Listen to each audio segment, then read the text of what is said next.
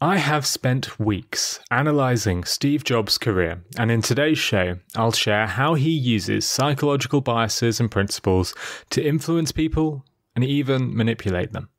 Steve was a master of persuasion, but he wasn't superhuman. He just used simple tactics that I think anyone can replicate. Keep listening to learn what they are, but first, here's another podcast I'd recommend. Creative Elements is hosted by Jay Clouse and is brought to you by the HubSpot Podcast Network. Now, Creative Elements goes behind the scenes with today's top creators. Jay is brilliant at running these narrative interviews, which explores how creators like Tim Urban and James Clear are building their audiences today. What I love about Creative Elements is how it gives you the tools and confidence to do the same if you're growing your audience. Now, there are a few great episodes I'd recommend. I'd recommend episode 2 with the Atomic Habits author James Clear. That is brilliant. Episode 100 is great. On it, Jay looks back at his podcast and discusses how he grew it. And I really enjoyed lesson 103 as well with Sam Parr. So go and listen to Creative Elements wherever you get your podcasts. I've spent over 50 hours looking into Steve Jobs' past, analysing how he persuaded, influenced, motivated, and even manipulated people. He did so with incredible success throughout his career, convincing established CEOs to join his startup, influencing marketing agencies to produce ads for his tiny company, and encouraging extraordinary engineers to go and work for him. But Steve, he wasn't superhuman. He simply leveraged common, well known psychological principles to influence people Sure, he was a one of a kind genius, but the methods he used to convince and persuade people are methods that all of us can adopt. Today, I'll look back on Steve's early career and showcase how he used those principles to establish Apple, achieve success, and produce the greatest ad of all time. This is a two part episode, so do subscribe to Nudge wherever you get your podcasts to hear the next episode with Steve, which will cover the latter part of his career with Apple. But I want to start with a disclaimer. Steve was a brilliant man, a genius, no doubt, but he didn't always do the right thing. There will be a lot of examples I will share today where he's manipulated someone to do something they ought not to. So, even though you'll learn how Steve did it, that doesn't mean you should blindly copy him. Just because Steve Jobs did it doesn't mean it's right. All right, enough with the disclaimers, let's get into it. Now, when most of you think of Steve Jobs, you probably think of this. There's just one more thing about the iPod mini, which is it comes in colors. So, in addition to silver, we have gold. That's the charismatic Steve Jobs that dazzled us with new innovations and groundbreaking tech during keynotes at Apple. But Steve was able to influence people decades and decades before that. Probably the first notable example of this is an old school picture with Steve and his classmates. The picture was taken when Steve was just a young boy. Now, in this picture, all but one student is wearing a Hawaiian shirt. It was a Hawaiian shirt themed day at school, so all the kids brought in a shirt to wear.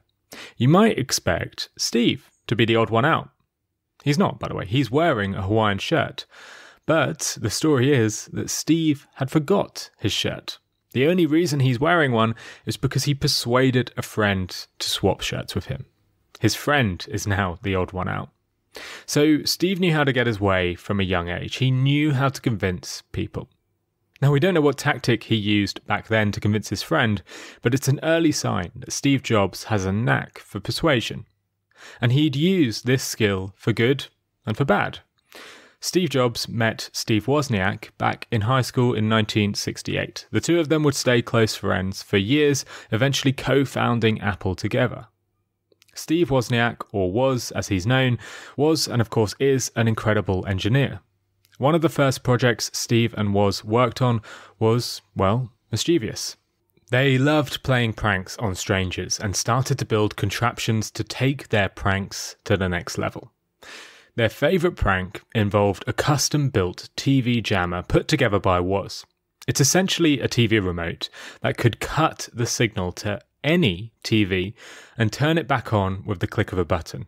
Steve and Woz would creep up to a stranger's house, peek through the front window, and then they'd turn on the jammer and watch the family get frustrated. They keep turning the jammer on and off, annoying usually the dad to no end. This was pretty funny to them, and I can imagine why. But Steve Jobs had an even better idea. He'd come up with a strategy to make it even funnier. He'd only turn the signal back on once the dad was standing next to the TV with his hand on the aerial. After doing this a few times, it made the father believe that the only way the TV would operate was if the dad stood next to the TV with his hand on the aerial. Steve and Woz would leave in fits of laughter, wondering how long the dad would stay there with his hand on the aerial. It's a funny and I think fairly harmless prank, and it shows again that Steve understood the basic principles of human behavior. The obvious principle here is the principle of conditioning. Steve is building a behavior in someone through repeat conditioning over time. I think it's the earliest example I could find of Steve using a psychological principle to influence someone, and it's something that he would continue to do throughout his career, not always through conditioning, but through other psychological principles that influence and persuade.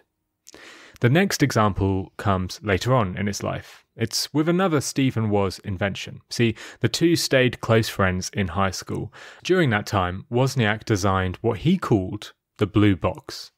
The blue box generates sounds to manipulate the telephone network and make free long distance calls.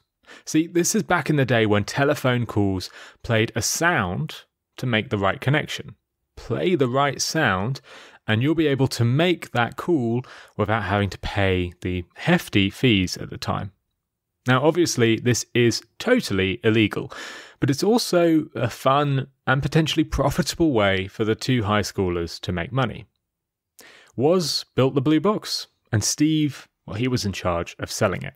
Now, put yourself in Steve's shoes. You're a senior high schooler, just 16 years old.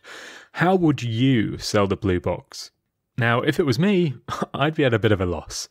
I guess I'd go speak to my friends, start telling them what the product is, what the benefits are. Maybe I'd tell them how much they'd save and ask them if they want to buy. I doubt I'd think of anything smarter than that. But Steve isn't like the rest of us. He intuitively used a psychological principle called social proof. Social proof is a principle that affects all of us, it means that we follow the actions of others. It's why, when we know something is a bestseller or most popular, we're more likely to use it and more likely to buy it. It's an evolutionary trait developed tens of thousands of years ago to keep us alive. If a bunch of cavemen were running out of a cave, you wouldn't go in that cave. You'd follow the actions of others. Social proof is used today in marketing. Richard Shotton, a marketing psychologist, added a best selling sign to a beer in a London pub and increased its sales by 2.5 times. However, social proof is notoriously hard to use for products that aren't popular. This is a problem for Steve. He can't say the blue box is the best seller because no one has bought it.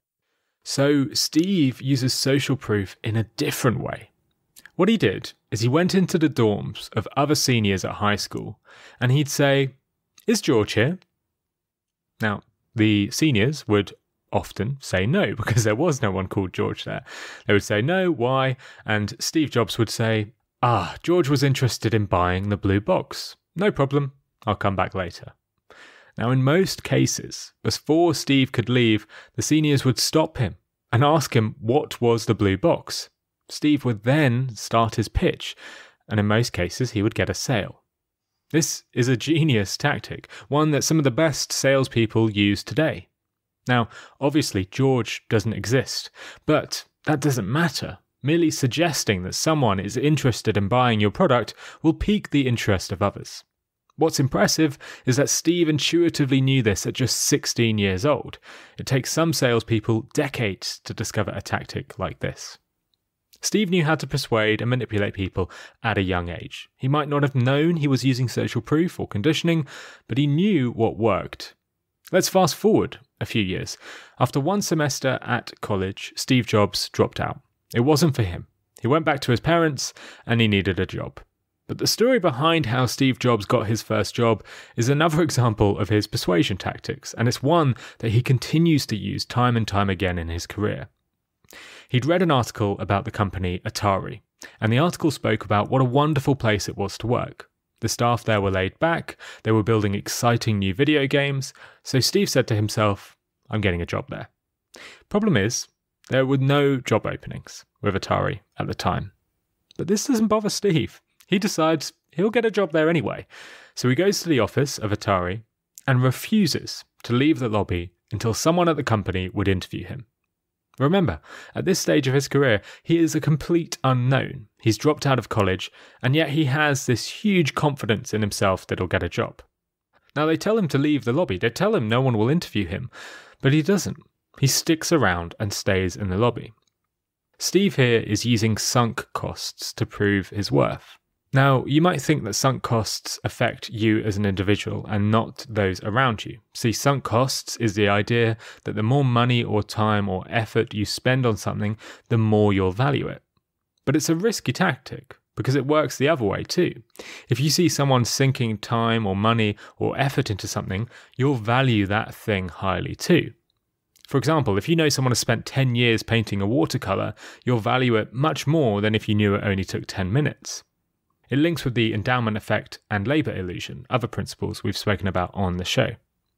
Steve's showcasing his own sunk costs here. He's spending hours in the lobby, quietly waiting for an interview. Sinking all his time and arguably reputation into this makes the folks at Atari value him a little bit more. It's a bit like a hunger strike. The longer someone goes on strike for, the more we value and pay attention to their cause. I should highlight though, this is a really risky tactic. It only works if you have strengths to back it up. Sunk costs might get you an interview, but you'll be held to a much higher standard than a normal interviewee. And if you don't have the skills to back it up, you'll be disliked, even more, arguably. There's a study by Elliot Aronson that highlights this. He filmed an actor answering quiz questions correctly. The actor got 90% of them right, and then the actor spilt coffee down himself, appearing clumsy and showcasing a weakness. What's interesting is people liked the actor more if he spilt coffee down himself. Matching a weakness, say clumsiness, with a strength, in this case intelligence, made the actor more likable. But in another variant of the experiment, when the actor got most of the quiz questions wrong and was seen as stupid, and then spilt coffee down himself, he was disliked even more than if he hadn't spilt the coffee. What this tells us is that if you showcase a weakness and a strength, you'll be liked more than if you just showcase strengths. However, if you showcase a weakness and another weakness, you'll be heavily disliked than if you just showed one weakness. So, Steve, he can get away with this. He's showcasing a weakness, which is his stubbornness and inability to say no while waiting in the lobby but he can match it with a strength. He comes across extremely knowledgeable in the interview and gets a job. He realizes that he can manipulate people this way by sinking hours into contacting them and then dazzling them with his knowledge. And he uses this same tactic of sunk costs multiple times in his career. Later on at Apple, he desperately wanted a well renowned marketing agency to come aboard and create the 1984 ad for Apple.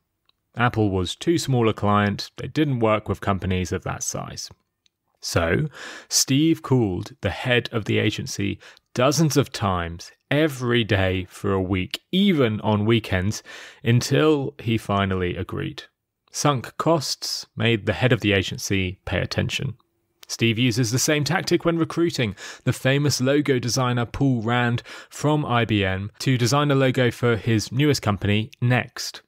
Now, IBM wouldn't let this logo designer Paul Rand leave to join Steve, and most people wouldn't fight that. He's at IBM after all. But Steve isn't most people. He called the IBM vice chairman three days in a row before he eventually agreed. Steve is not afraid to showcase his commitment, to sink time and reputation into a task to get what he wants.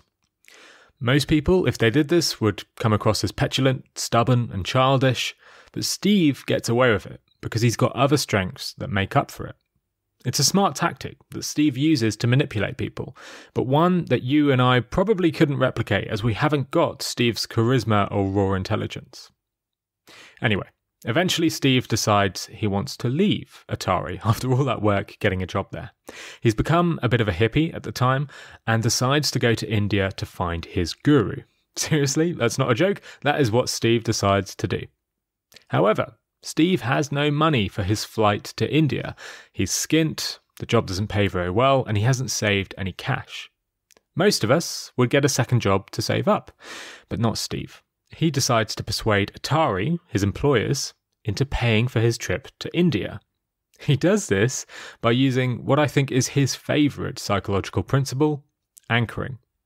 Anchoring is the idea that we are heavily influenced by the initial piece of information we see.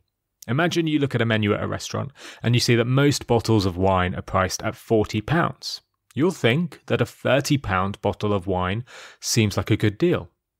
However, if you went into another restaurant where most of the bottles are priced at £20 a bottle, then a £30 bottle, well, that will seem overpriced. We are anchored by the information presented around the offer, and it changes our perception and our decisions.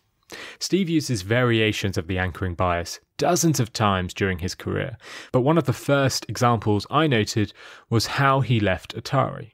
So he simply told his boss, You should pay for my flight to India. I've been a tremendous employee, I've outperformed my peers, I've done everything you've asked of me, so buy me a flight to India.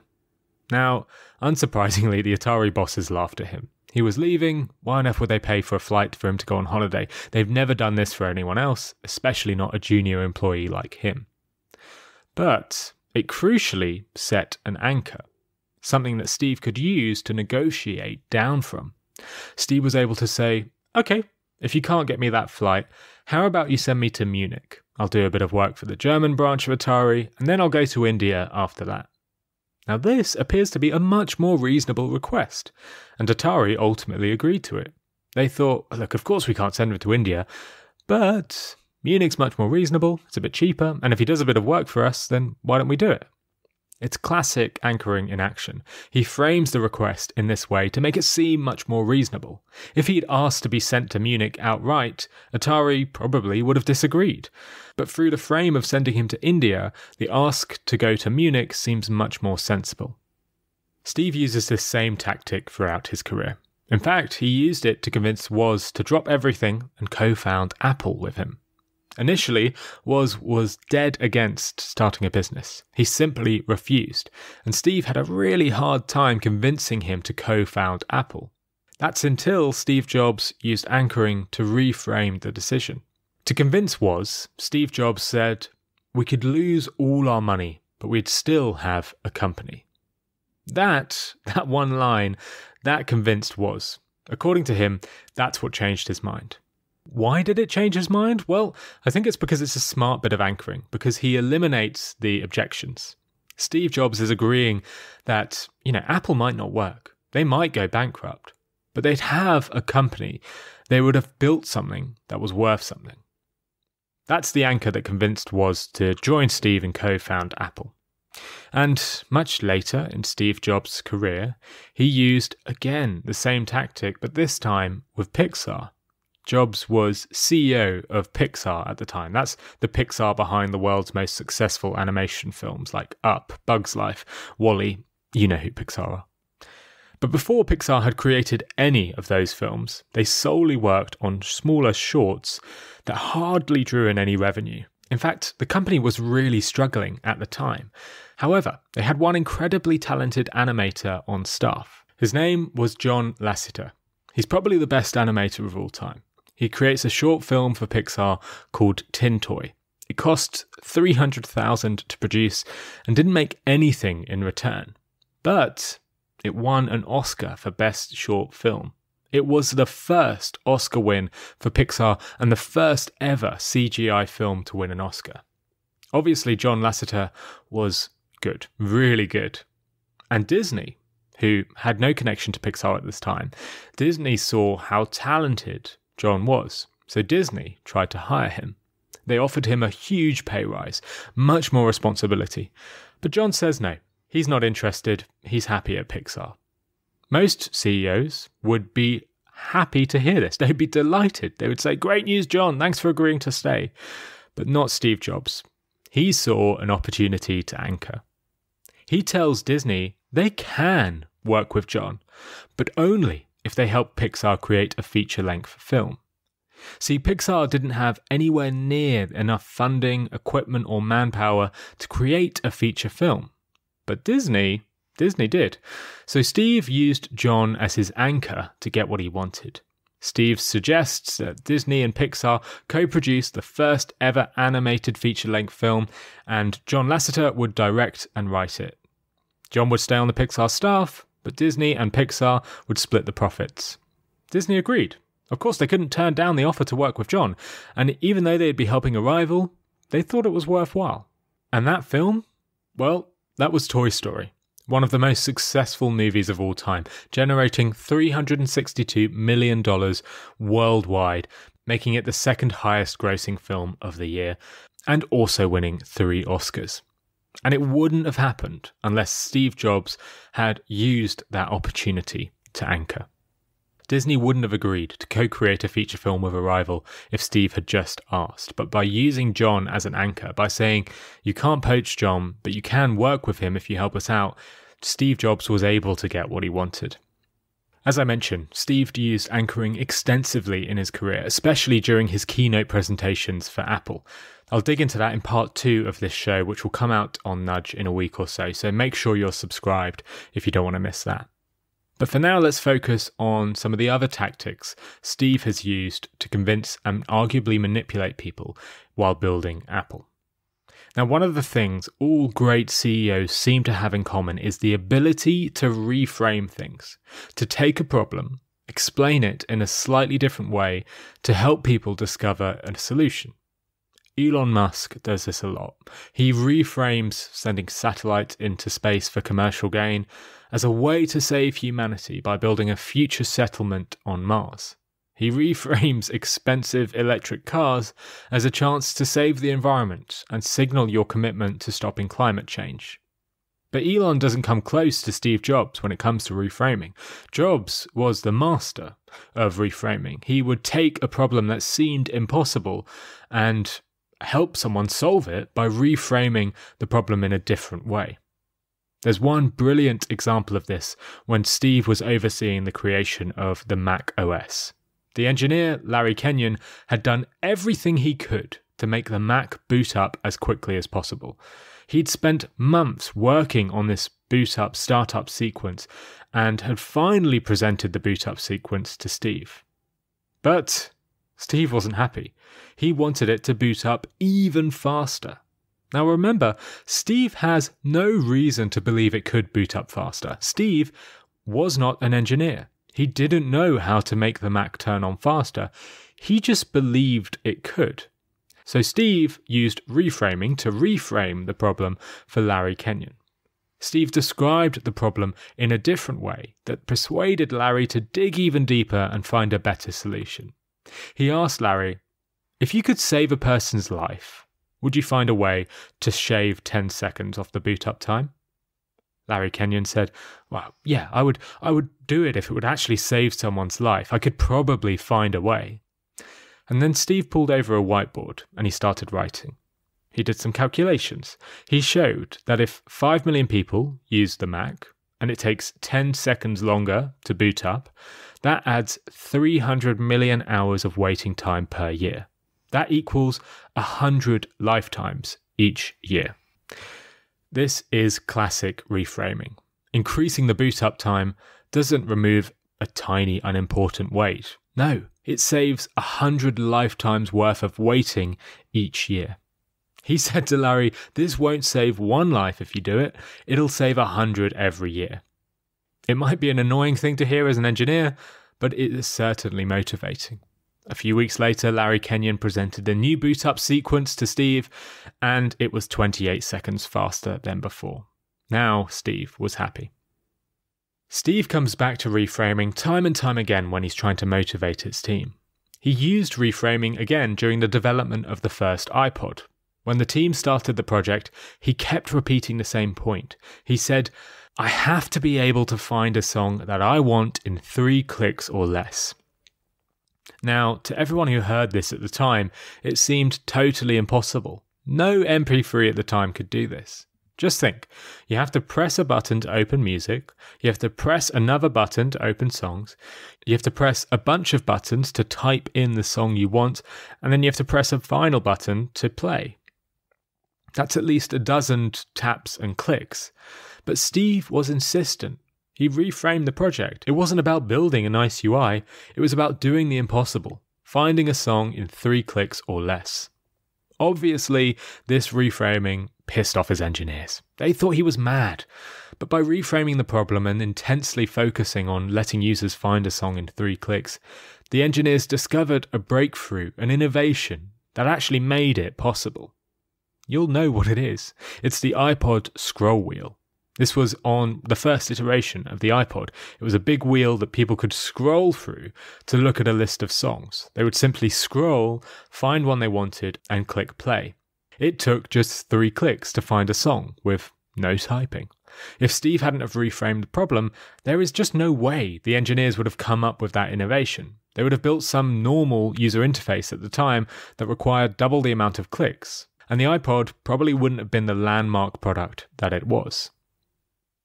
There's one final reframing example that I'm sure you've heard because it's famous. When Steve was reviewing the final design for the first iPod, the engineers in the room were tense. If Steve approved, they'd finally be able to ship this product after months and months of long hours and hard work. The story goes that Steve was tossing the iPod prototype in his hand, and as he was looking at it, he starts to shake his head and he says, It's too big. The engineers at this stage went berserk. The engineers explained to Jobs that it was simply impossible to make it any smaller, that they would have to reinvent the invention to make a smaller iPod. And Jobs, he was silent for a few moments with the iPod in his hand. And then, after a few minutes, without saying anything, he stood up, walked to an aquarium which was in the corner of his room, and dropped the iPod into the water tank. The device fell to the bottom, and small bubbles came out of the iPod and floated to the surface. Steve said, Those are air bubbles. That means there's space inside. Now go and make it smaller. The engineers went silent. They couldn't complain with this. Steve was right. There clearly was excess space in the iPod, and it could be made a little bit smaller. Steve did a classic bit of reframing here. He didn't just say, make it smaller. He said, eliminate every bit of spare space. And that the engineers could do. They went away, they removed the space, and the iPod became that little bit smaller.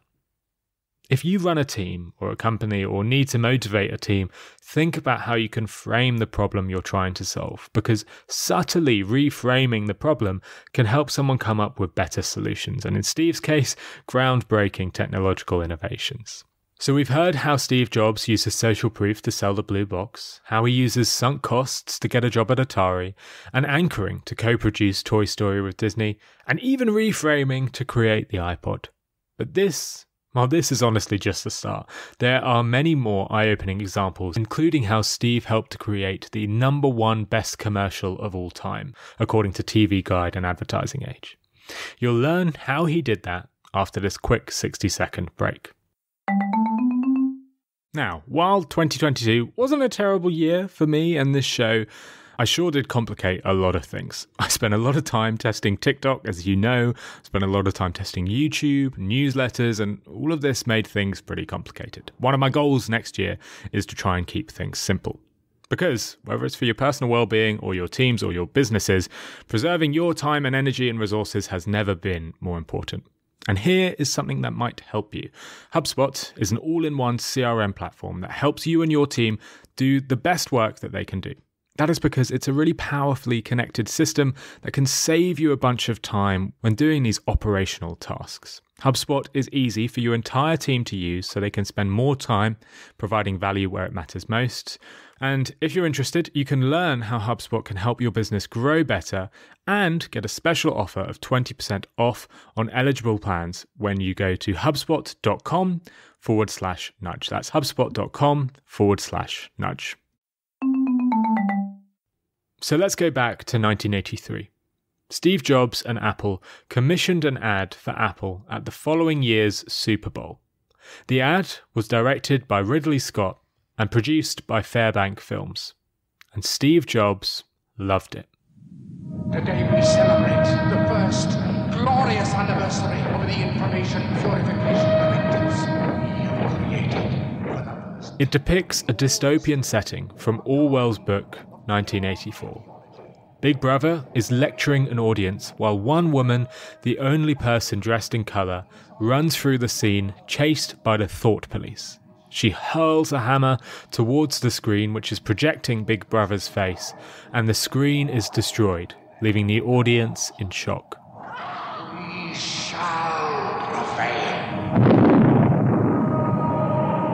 On January 24th, Apple Computer will introduce Macintosh. And you'll see why 1984 won't be like 1984. The screen fades to black and the voiceover ends, and the rainbow Apple logo appears.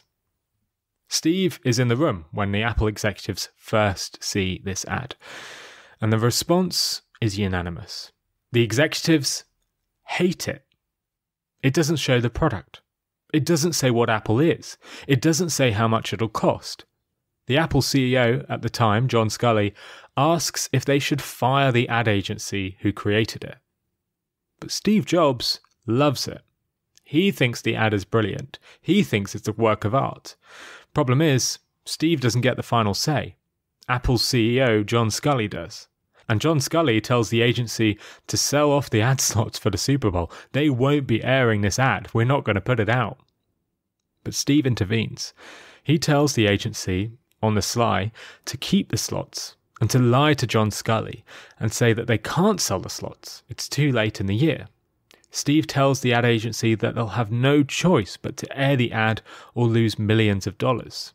So, Apple had no choice but to air the ad. They go ahead and play the ad at the 1984 Super Bowl, and as many of you know, this ad is an unprecedented success. In fact, it is considered a milestone event for Apple, one which elevates them to a legendary brand. The ad wins numerous awards for Best Advert of All Time, and $3.5 million worth of Macintoshes were sold just after the advertisement ran, which Brent Thomas, the art director at Apple, called an absolute success. But why? What was so good about this ad? And how come Steve knew it was so good when no one else did? Well, there's one thing that Steve knew that others didn't. He knew about the curiosity gap. It's a really simple principle. If you pique someone's curiosity, saying a new product will change the world, but don't reveal how the new product will change the world, then you'll capture more attention and more interest than if you had actually revealed what it is. Leaving something unknown captures attention. This is why trailers are so successful. They show just enough of the film to pique our interest while leaving enough unknown to make us watch it. It's why cliffhangers works. A TV show ends, but we don't learn the whole story, so we play the next episode to find out what happened. I've extensively explored the curiosity gap in a previous episode of Nudge. It's called I Used an Ancient Storytelling Trick to Get 11,000 TikTok Fans. Go and listen to that episode if you want to learn more. Steve knew all about this curiosity gap. He used it time and time again at his keynotes, and he knew it would make the ad a success. So he defied his leadership team and went ahead and aired the ad. And this works. The ad hints that Apple will change the world, and it piques people's curiosity, triggering the curiosity gap, and making viewers interested to learn in what Apple is building. Without Steve Jobs, that ad would have never seen the light of day. And there's one more example I wanted to share before ending today's episode. It is four years after the Super Bowl ad. Since 1984, Steve's had trouble at Apple. The company was failing, and Steve was disliked by many of his peers not least because he is constantly undermining them and constantly, as we know, going behind their backs. He is eventually ousted as board member and leaves Apple. Unfazed, Steve goes and starts a new tech company called NeXT. The company itself isn't too notable. It's arguably one of Steve's few failures in his career. But Steve's first keynote presentation there, his first presentation to the press, is fascinating. It's another glimpse at how Steve uses psychological bias to manipulate and influence people. First, he rents out a huge arena, one used for concerts, not business presentations. He invites thousands of people and has them waiting for hours for the event to start. This annoys some people, but it piques the curiosity of others, building anticipation. Eventually, he comes on stage, and with some classic anchoring, he says, Thanks for joining us today. I think together we're going to experience one of those times that occurs once or twice in a decade of computing, a time when a new architecture is rolled out that's really going to change the future of computing. And uh, we've worked on this for three years. It's turned out incredibly great. So I hope that.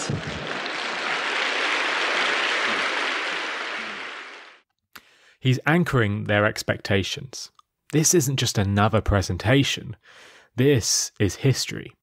He goes on to say that this is the biggest invention since the printing press. Now, we might be used to this type of hyperbole now, but at the time, this was unique. No businessman had the audacity to say stuff like this, but Steve would. He knew the power of framing and anchoring and would use it to raise expectations and increase awareness. And he pulls it off, not really because the product he presents is a success, but because of the product demo. For the demo, he invites a world famous violinist on stage and has him play a song accompanied by Steve's next computer. Now remember, this is 1988. Computers were giant boxes with the computing power of a modern day calculator. They weren't known for playing music, and definitely weren't known for accompanying famous musicians. But that's what this next computer did. And now I'd like to introduce Dan Kobialka, the principal second violinist with the San Francisco Symphony Orchestra. Thank you. Good luck.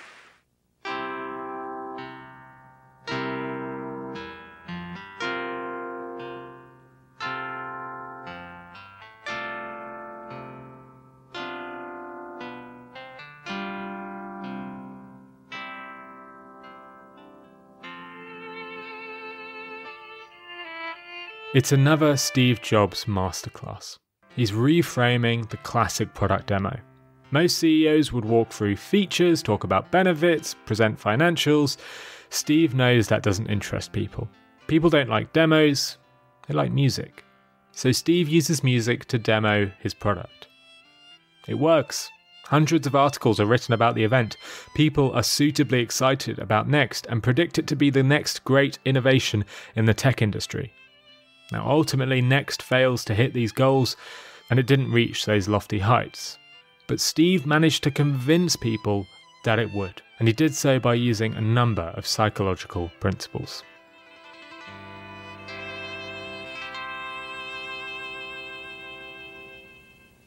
Steve leaned on four core principles. He used sunk costs to showcase his commitment and get what he wanted. He used anchoring to win at negotiations and change people's perspective. He used reframing to help his employees come out with unbelievable innovations, and he used the curiosity gap to capture his audience's attention and get them hooked on his product. Steve Jobs came back to these principles time and time again throughout his career, using them to create more award winning marketing campaigns, create new breakthroughs in technology, and ultimately make Apple the world's most successful company. I should add that anchoring, sunk costs, reframing, and the curiosity gap aren't the sole secrets of Steve's success. Of course they are not. There is much more to him than that. He's also smart, focused, and incredibly diligent. But those psychological principles, they probably gave him the edge. By leveraging those principles, he managed to manipulate people to get what he wants, whether that was funding from Disney to produce Toy Story or a Hawaiian shirt from his school friend. And while I wouldn't endorse you or others to follow his tactics, using them in the right circumstances is a no brainer if you want to build your company, motivate a team, or persuade an audience. Okay, that is all for today, folks. As you can imagine, I've spent a lot of time researching this episode, so I really hope you like it. If you do, please do share it with a friend or colleague, that will really help the show grow. If you do share it on social media, please tag me. I'm P underscore Agnew on Twitter or Phil Agnew, that's A G N E W on LinkedIn. I love seeing those posts, so please do tag me. Now, if you're interested in learning more about Steve, then I definitely recommend reading the biography of Steve Jobs by Walter Isaacson. I've linked to it in the show notes. And also, definitely go and listen to another podcast called How to Take Over the World and the episode they've done on Steve Jobs. That episode inspired me to create this episode. It's a fantastic, well produced podcast. So, if you enjoyed this, you'll probably like that. So, go and check it out.